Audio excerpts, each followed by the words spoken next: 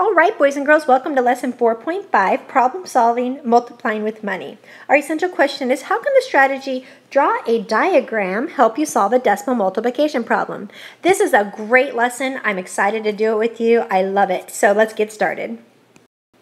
Now in your Go Math book for lesson 4.5, question one is done for you, but I just want to walk you through it just so you can see why they did what they did and how they drew the diagram. Let's look at our question. It says, Three friends go to the local farmer's market. Ashley spends $8.25. So just look right over here. What the person did was they made a name for Ashley and they put one box to put how much money she spent. She spent $8.25. Natalie spends four times as much as Ashley. So if you look right here, they made four boxes for Natalie because they did four times the amount as Ashley. So they put $8.25 inside each of the four boxes. Now, it says Patrick spends $9.50 more than Natalie. So let's stop and think about Patrick. You can make Patrick's name and then notice how they put the same amount as Natalie, but they also included a little extra portion just for him to show $9.50 because that's $9.50 more. So we found Ashley's total. We found Natalie's total to be $33. Patrick's total was $33 plus an extra $9.50. So the question says, how much does Patrick spend? Well, you have to figure out Natalie's to figure out Patrick, and he spent $42.50. All right, let's look at question two together. All right, for question two, it says Kimmy's savings account has a balance of $76.23 in June. By September, her balance is five times as much as her June balance. Between September and December, Kimmy deposits a total of $87.83 into her account. If she does not withdraw any money, remember, withdraw means to take away. What should Kimmy's balance be in December? So let's stop and think about what we know so far. Go back to the top. It says Kimmy's savings account has a balance of $76.23 in June. Will you do me a favor in your Go Math book? And I want you to make a box. And we're going to label that June. And what is her balance in June? We need to put $76.23. Now go ahead and write that inside there. Now, by September, her balance is five times as much as her June balance. So what do you think we should do for September? Think about it. I'm going to write September. I need to make how many boxes for September?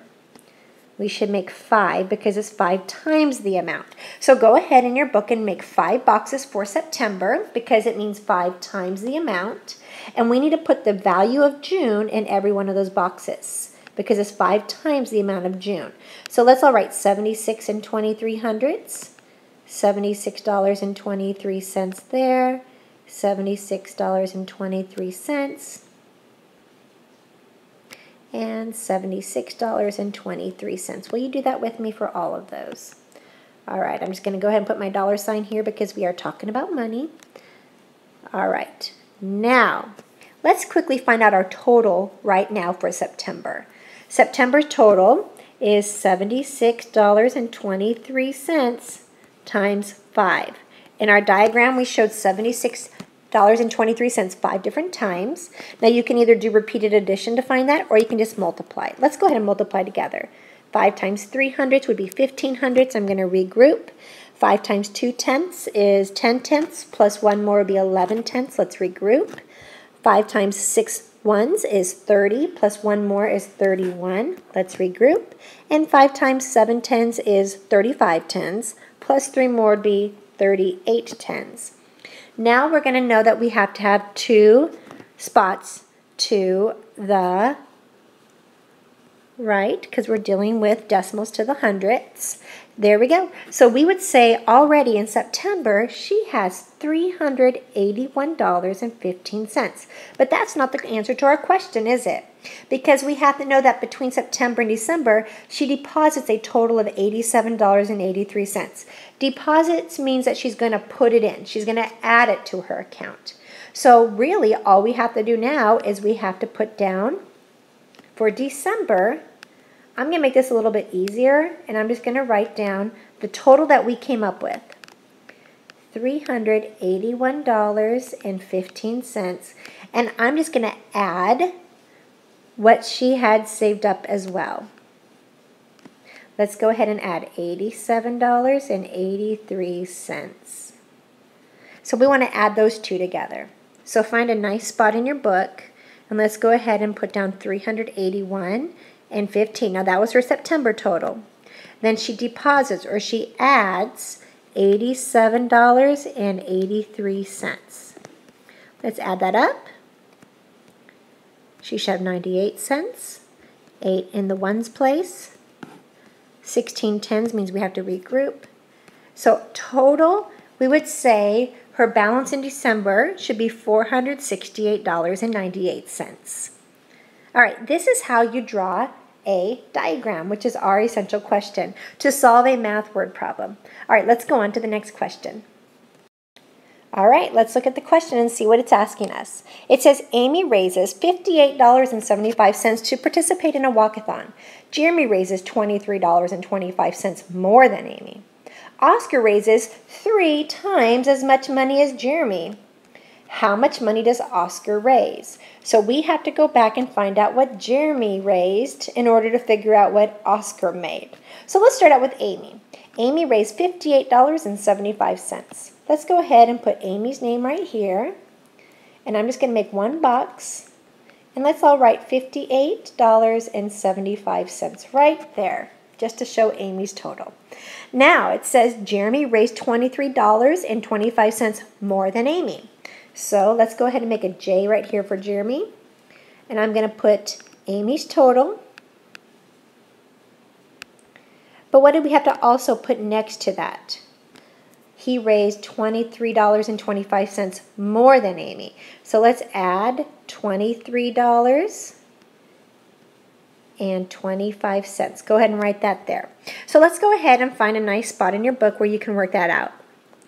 58.75, I'm going to line up $23 below it and 25 cents. Let's go ahead and add that up to find Jeremy's total because we cannot get Oscar's total without Jeremy's total.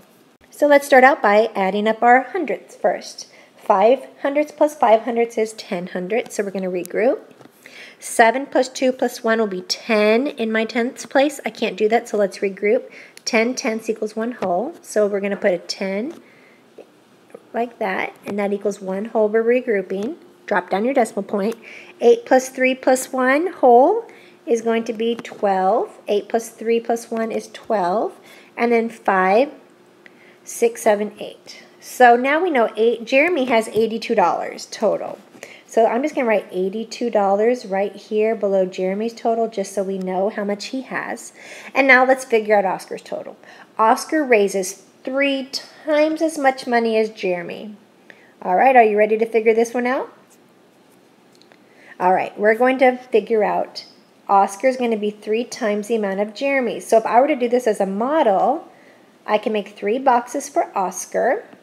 And because we know that Jeremy raised $82 and Oscar raised three times Jeremy's amount, I can just write inside my box as neat as I can, $82, and I'm going to do that three times.